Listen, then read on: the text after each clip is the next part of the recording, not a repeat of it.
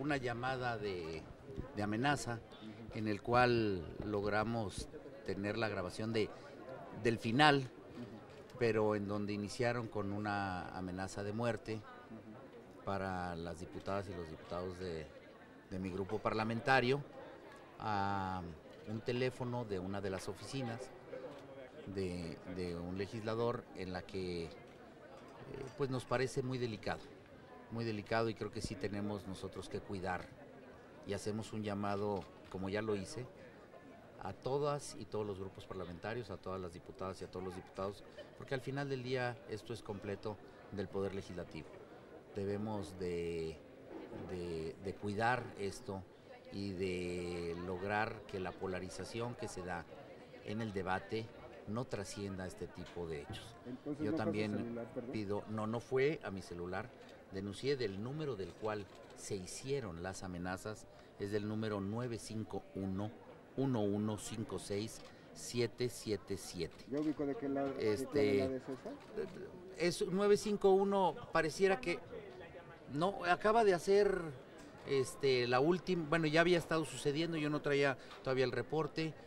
Yo iba pasando por una de las oficinas cuando una de las compañeras secretarias me indicó que estaba recibiendo, me dice, es una llamada de amenaza, ya tengo el teléfono porque tiene- que pon- le alcancé a poner el, el speaker y este palabras altisonantes, este eh, específicamente hijos de su puta madre se van a morir por lo que le están haciendo al país.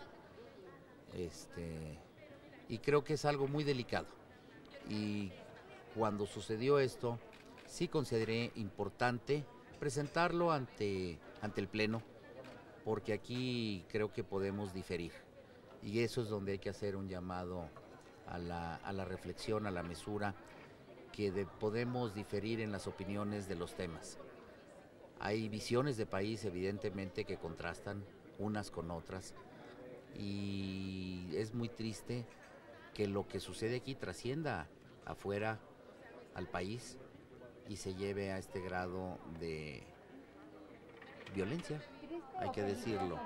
Pues es, es triste y es peligroso y por eso creo que debemos de tomar cartas en el asunto y también reflexionar hasta dónde un debate como el día de hoy de temas que verdaderamente no tienen, pues, se convierten en, en un listado de acusaciones de un lado al otro.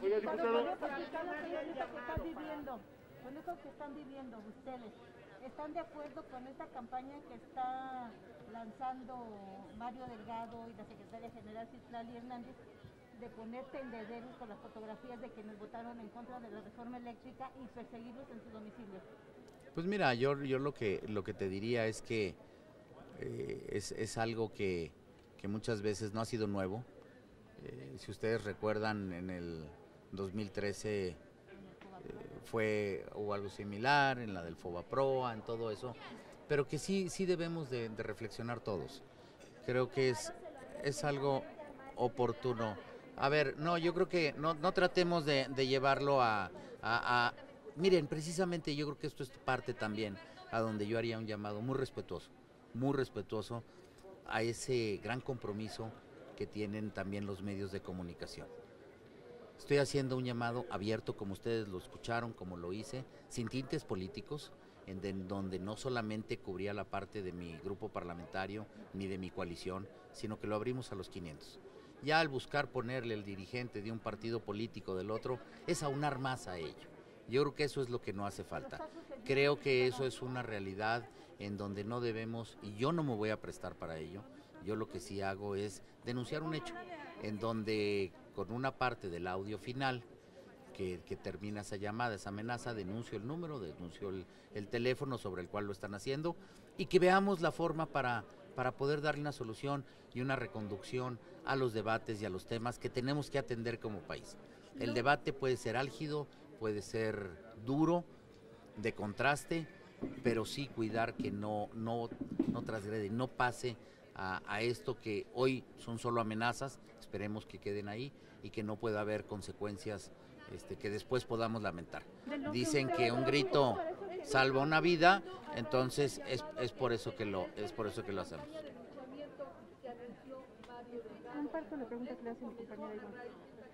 Les soy, les soy honesto, desconozco el pronunciamiento, estuve metido todo el día desde muy temprano aquí en la, en la Cámara. Ah, no, no. también se ha referido a él, de que van a exhibir a todos los diputados que votaron en contra. No lo traigo. Miren, yo creo que lo que lo que se está diciendo de un lado exhiben a unos y de un lado exhiben a otros. Yo quisiera pedirles también y hacer un llamado a que cese el hostigamiento y los señalamientos en contra especialmente de mi compañera diputada Federica Quijano. Una compañera diputada que ha sido agredida terriblemente en las redes sociales. Sí, y que ha sido denunciada.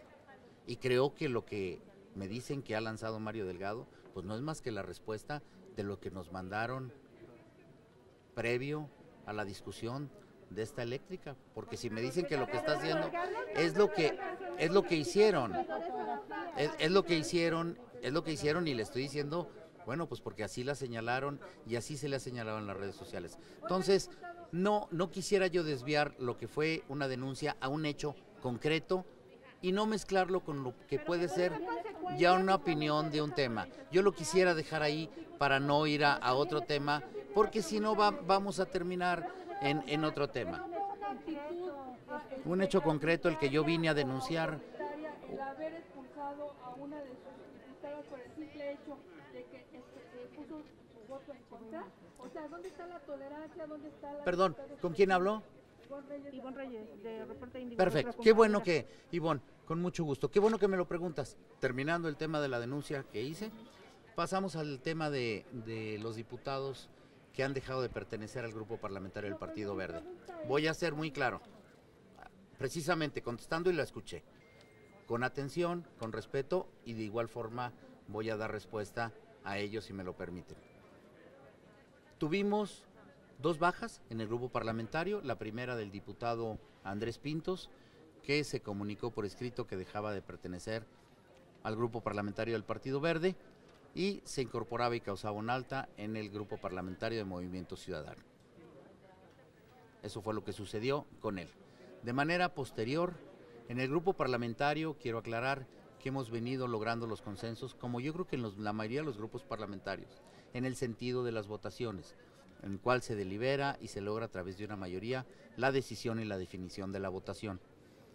El día domingo tuvimos nuestra reunión previa en el cual revisamos los puntos, aclaraciones, lo que teníamos y definimos el sentido de nuestro voto. Hasta ahí no teníamos ninguna manifestación de algún o alguna compañera que tuviera una opinión diferente al sentido que la mayoría del grupo por unanimidad había definido respaldar la reforma. Cuando se dio la votación, ustedes lo pudieron ver, lo pueden constatar en los videos, yo no me acerqué hasta ella hasta que terminó la votación y se cerró, precisamente para que nunca se entendiera a manera de presión o intento de coacción a que tratara tan siquiera de insinuarle que modificara su voto. Se le respetó en todo momento. De manera posterior, hablé con ella y simplemente cuestioné que por qué no habíamos sido notificados con anterioridad. Creo que el grupo parlamentario bien se lo puede merecer cuando siempre abrimos en un ánimo eh, propositivo la discusión y un debate sobre el sentido de nuestras votaciones. Al día siguiente tuve una reunión con ella, privada, previo a la reunión con las compañeras y compañeros diputadas y diputados federales que integran el grupo parlamentario del Partido Verde, en donde me dio sus motivos, lo entendí y me lo dijo claramente. Era un tema ambientalista, era un tema de cambio climático en lo que ella no compartía. Lo entiendo y lo respeto. El día de hoy vamos a una sesión que va a la modificación de la ley minera, donde integramos el tema del litio, lo que ya todos conocemos que se trató. A lo que pregunté si podíamos contar con su voto y su acompañamiento para ese día y poderlo socializar con el grupo parlamentario, que evidentemente había una molestia por parte de todas y todos los compañeros. Ustedes pueden platicar con el que quieran de ellos y ellos les darán la respuesta del ambiente que se vivía al interior del grupo parlamentario. Así lo tuvimos marcado le hicimos llegar la información referente al tema discusión, la reserva que se proponía, modificación, y después simplemente ya no logré comunicación. Intenté por varias vías de comunicación, como siempre lo hacemos, con el coordinador de asesores, con el secretario técnico, con directamente desde mi celular, a lo que de manera sorpresiva al final vimos que efectivamente dejó de votar. Con lo cual, posterior a ello, el grupo me pidió que deseaban platicar para poder tomar definiciones. En lo que después de una deliberación y una reunión del grupo parlamentario en pleno y con unanimidad, le comuniqué de forma directa de mi teléfono al de ella por un mensaje que dice, Alexis, me queda claro nuevamente con tu votación que en este grupo parlamentario ya no contamos en definitiva contigo. Preferimos dejarte en libertad y así lo comunicaremos a la mesa directiva. Te buscamos sin éxito vía las instancias que ya había mencionado. Quedo a tus órdenes. Saludos. Y es que comunicamos a la mesa directiva y no fue correrla, simplemente fue dejarla en libertad porque evidentemente ella ya no compartía las decisiones de grupo. Mm. En dos ocasiones se hizo, se platicó, se comentó, no lo tuvo y al final hubo sorpresas. La mayoría de las compañeras y los compañeros lo que pidieron era tener certeza o no del acompañamiento.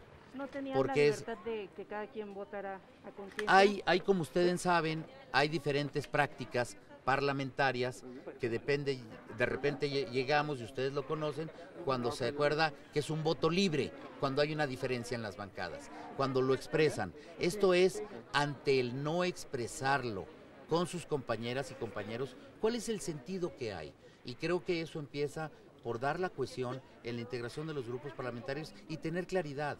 Nadie, nadie le intentó coaccionar ni diferenciar el voto que ella hubiera tenido.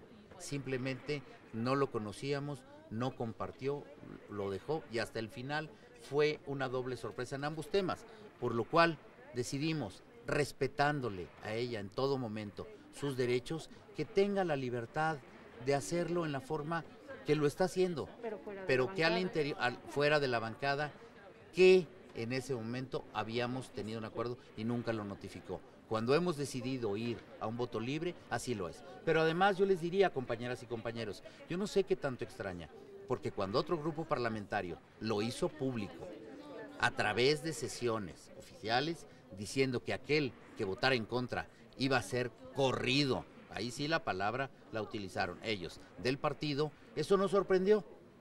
Y la verdad es que acá no se corrió a nadie, simplemente la dejamos en libertad al ver que no había una plena coincidencia y creo que es más sano darle la libertad sin que ella tenga la necesidad de venir a desprenderse, de decir que lo dejó, que buscar en dónde, tiene la libertad en dónde encontrar acomodo. De nuestra parte, siempre el reconocimiento a ella, como a todas las diputadas y diputados, que tenemos que respetar sus decisiones. La respetamos, lo entendemos, pero lo que sí el grupo parlamentario no compartió es ese manejo de sorpresa cuando está, cuando no fue acordado que lo íbamos a hacer así dentro del grupo parlamentario. habló de obediencia ciega. ¿Se sienten minimizados por esta cobertura que dicen que en unos sorprende y en otros no? Es que depende del partido, porque son muy autoritarios y ya se sabe que los van a. No, yo lo que digo simplemente es que pues se los platico como fue, les leí hasta el WhatsApp de mensaje, una total apertura y, simplemente les estoy diciendo lo que fue no hay ningún mal ánimo. Si ustedes han visto el, el mismo día de la sesión cuando se cambió el diputado Pintos, tuve un diálogo abierto con, el coordinador del grupo parlamentario del Movimiento Ciudadano, que además es mi paisano, que además es mi amigo, y sería muy bueno que le preguntaran al diputado Álvarez Maínez el, tono en el cual se dio el diálogo este, sobre ese movimiento que debemos de entender todos aquellos que somos profesionales de la política. Entendemos es una libertad, una prerrogativa de los diputados federales estar y permanecer. Hoy está así la ley, así estamos conformados. Ni siquiera hablamos y no adjetivizamos nunca el movimiento o el corrimiento que hicieron estos diputados federales, uno de una forma, el otro de otro. Por eso en el segundo caso lo que preferimos fue dejar la libertad, abrir la puerta y adelante que pueda seguir porque aquí a nadie se le pide obediencia ciega. Aquí a nadie, a nadie se le pide que lo haga y si no bajo una amenaza. Y cuando el grupo parlamentario lo decide y en mayoría, así funciona la democracia, y más cuando es de manera unánime. A eso ustedes lo pueden constatar con todas y todos los legisladores del Grupo Parlamentario del Partido Verde, que hoy consta de 40 compañeras y compañeros diputados. De mi parte, ¿qué riesgos de parálisis diputados si continúa ese tipo de situaciones aquí en la Cámara de Diputados y que se tenga que estar levantando la sesión por estos ánimos tan cambiados que están dando? Yo creo que, que debe de imperar la política, nuevamente hacer un llamado a que desde la Junta de Coordinación Política podamos buscar eh, las coincidencias y de cómo seguir transitando, sobre todo cumpliendo el reglamento y sobre todo tratando de cumplirle a México en donde no es con agravios que vamos a construir un mejor país de todos lados. Aquí no simplemente uno, creo que debe de caber la prudencia y, habrá que ver. Yo quisiera, quisiera que impere la política y que podamos seguir adelante porque es muy importante que el Congreso sesione el periodo que tiene que sesionar. Estamos muy próximos a culminar, nos queda una semana y lo que serán tres sesiones, sesiones que serán importantes, en donde habrá que ver en la Junta de Coordinación Política cuáles son los temas que se logran enlistar para la próxima semana, pero por lo menos desde el Grupo Parlamentario del Partido Verde vamos con la convicción de construir acuerdos a favor de México, tendiendo la mano y buscando construir coincidencias más allá de las grandes diferencias que se han mostrado el día de hoy. Sobre la amenaza, yo quisiera preguntarle nada más un detalle eh, Sí, técnico. Eh, eh, en la parte que usted escuchó de la amenaza, ¿hubo alguna referencia particular al Partido Verde o fue genérico? ¿Qué, qué le hizo, además de que No, llegó lo- a las oficinas? No, la parte de- de del verde fue al principio, ya al final no. Ah. Y, y- ¿Eso se y lo contó fue. la persona que recibió la llamada? Estaba, estaba poniendo el, el speaker cuando decía la parte de verdes. Ah, Diputado, un favor, Pinches verdes o algo ¿nos así. puedes compartir el audio a través de comunicación social que nos los mandaron a Sí, le- les comparto lo que es este pues la colita del término de lo que alcancé a, a- a grabar y que puse en el pleno. Des- Con mucho gusto. Decía usted que esta no, no era la primera llamada con respecto a esta discusión. No, después de eso fui notificado que durante el día habían estado ingresando diversas llamadas este, con Es- es el- amenazas en, en, el- en ese sentido. Ese día fue hoy. Ese día fue hoy. Ah, ok. algún tipo de protección especial para sus No, yo creo que fue lo que yo dije ahí. Creo que hay que ver y hay que darle también la justa dimensión. Son llamadas, vamos viendo cómo, cómo se va atendiendo esto, pero creo que hay herramientas y hay, hay elementos con que se puede proceder, poner atención y, insisto, esto no es solamente para las y los diputados del Verde. Hablo por las 500 diputadas, los 500 diputados, que yo creo que es muy importante, y por toda la gente que labora en Cámara. Nadie, nadie tiene por qué estar en peligro por venir aquí a cumplir con una obligación, con una responsabilidad, tanto asesores, colaboradores, ustedes mismos. No debe de llegar a ese punto, debemos de poner atención y, y- y es lo que debemos de atender desde mesa directiva, desde la Junta de Coordinación Política. Gracias. Bueno, como ustedes lo escucharon, pues ya, ya hicimos la, la petición para que mesa directiva este, tome cartas en el asunto y de acuerdo a nuestras facultades y atribuciones, mesa directiva y Junta de Coordinación Política lo podamos atender. Gracias por la Gracias por la atención, compañeros. Regálenos su audio, no se le olvide. Sí.